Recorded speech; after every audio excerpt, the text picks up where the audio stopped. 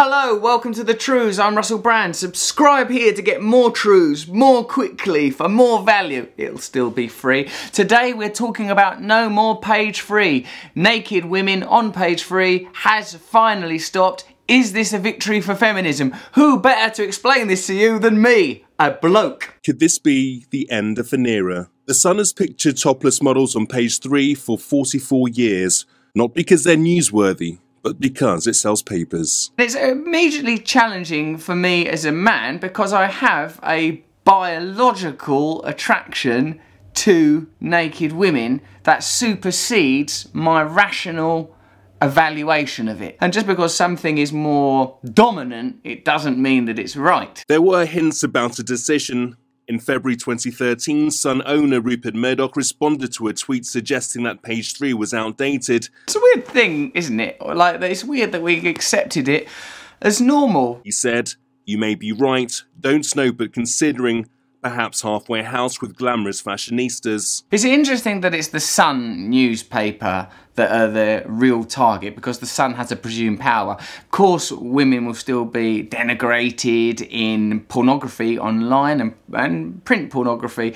and in other newspapers, but the Sun is seen as a powerful institution and an opinion former, so their commitment to page three is more significant. What's the nature of this change? Well, I think what's going to happen now is women on page three are going to wear bikinis, so you still will have them. It's sort of farcical. The things that the Sun presents are disingenuous. The Sun is a mouthpiece for a powerful elite that poses as a sort of chummy, blokey fella down the pub. The people's paper! As long as those people are men, white, rich, in power. That's the people that it's interested in. Many of those who have featured on our household names like Katie Price, but campaigners said it objectified women and undermined important stories about rape, sexual abuse, harassment, and domestic violence. I suppose what we deal with in situations like this is symbols. Page three is a symbol of female oppression. So, no more page three is a symbol of female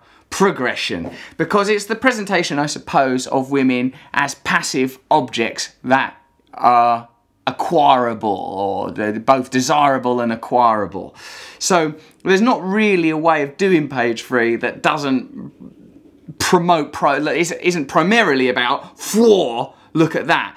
And I suppose like because it connects with something that's in me that desires and craves women in a very simple and basic way, it will be helpful if culture guided us in the right direction. Myself, I've often been uh, correctly judged as sexist for sexist behaviour and attitudes that I've exhibited in the past. But that's something I'm personally trying to work on and uh, change can come from education and knowledge. And if people can't change, then we're stuck. In an interview of Sky News in September, the paper's editor defended page three. Come on, are we really in the world where we have to cover up breasts?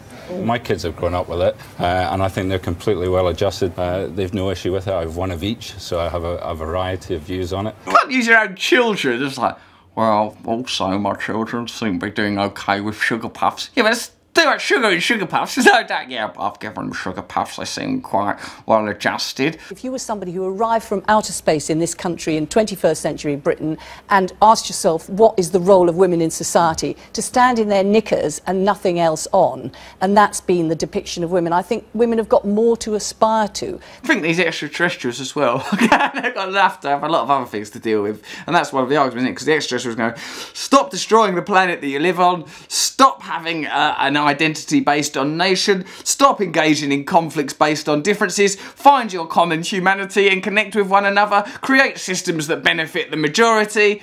Uh, what about page three? Yeah, oh yeah, no, get rid of that. I don't know, that's not why? It's an institution. Why? It's an institution. so is Guantanamo Bay. It's been going on for 44 years now, um, so I don't say it's not hurting anyone.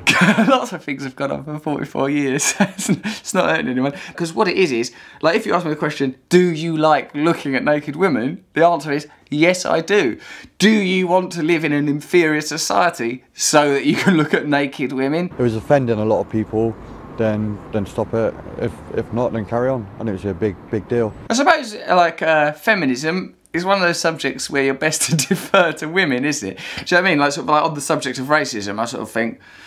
Hmm, Well, I don't know actually because I'm not in a maligned race. I'm in a dominant uh, racial group, so I can't really comment. So it's best always to, I think, on the subject of feminism, to get information from women. In this instance, I am a man, but I've tried to glean the information as best as possible from a uh, feminist perspective because perhaps the continuing dominance of men and a society that's presented as for male consumption primarily is a massive problem. The average British woman earns 80p for every quid earned by a man, and in America, the average woman earns 77 cents for every dollar earned by a man. So women are earning a lot less. Than we live in a patriarchal society. Now that's universal.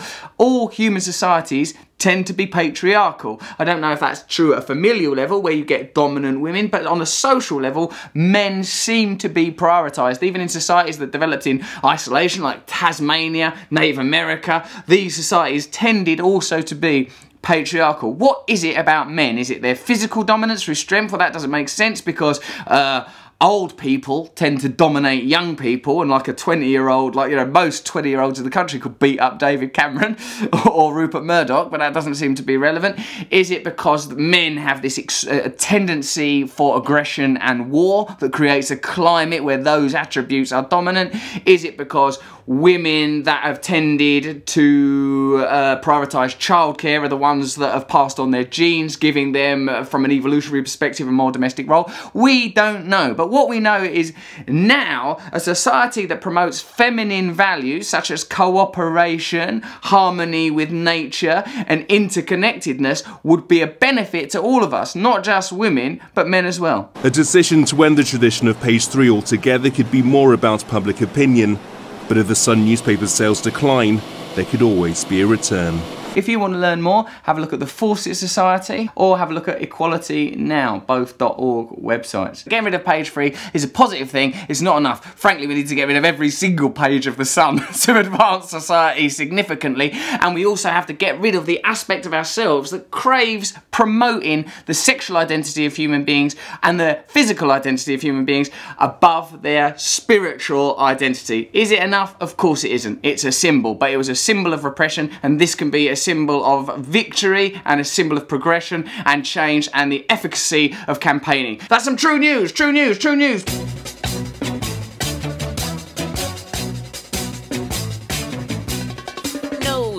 A tool that is abused to fool you and to leave you scared and confused. Trews is like the nose. If the nose was true, I want some Trews. Let's have some Trews.